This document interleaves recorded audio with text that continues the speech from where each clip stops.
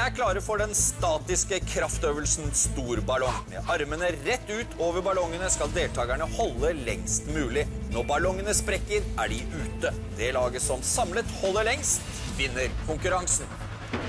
Vi er i gang. Det er altså fire stykker som står ved ballongene, og så er det to fra motstanderlaget som skal forstyrre og bringe disse fire fra Senkveld ut av fatning. Det er Marco El Safadi, og det er Andreas Ygrevik. Hva har de å by på? Vi skal ha musikk nå.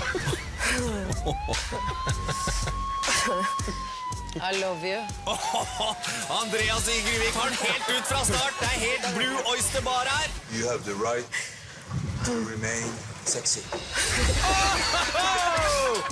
Det klarer jeg ikke. Det. Strålende start av eh, Andreas Ygrevik og Marco El Safadi for mesterlaget. Så er det over til eh, mesterne som står ved ballongene, og det er Stian Blipp sammen med Jan Thomas. Hva med noen tørre vitser framført i stemmen til Tor Arne Hetland? Er det noen som er på det? Noen som er klar for den? Ja, ok. Det er bare å si at det dæken hette forbaskede steikende drue gøy å være her, altså. Det er Hadde jeg hatt en hest, så hadde jeg hatt en Hetland-ponni. Frode, jeg fikk en bagett med kun ost der en dag.